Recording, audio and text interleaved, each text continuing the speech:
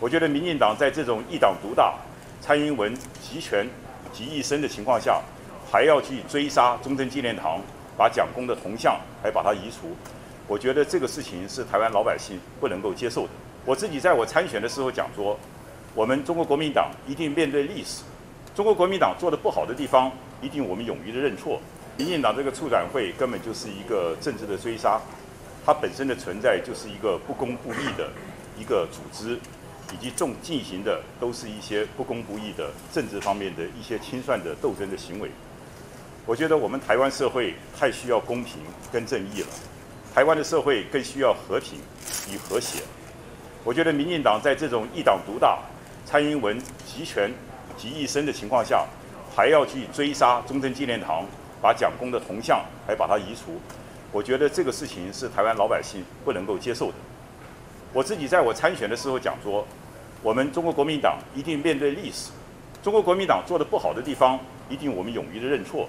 但是中国国民党做的对的地方，我们一定坚决的捍卫。就拿蒋中正先生在台湾的历史定位来讲，如果我当选了中国国民党主席，我会立刻的召开全世界有关于东亚近代史的专家，大家共同来讨论一下蒋中正先生到底在台湾的历史的功过。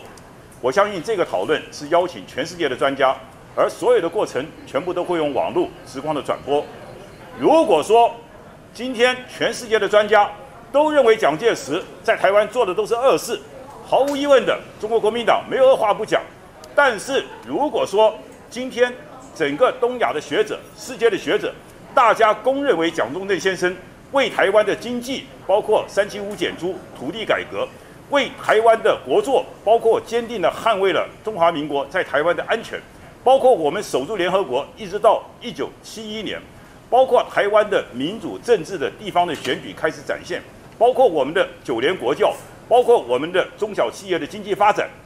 台湾能够成为四亚洲四小龙，蒋中正先生绝对是功不可没，而他所扮演的角色可能还远远超过蒋经国先生。在这种情况下，如果我们有历史的事实，再加上全世界我们大家公认事实。民进党今天凭什么要拆中正纪念堂？凭什么要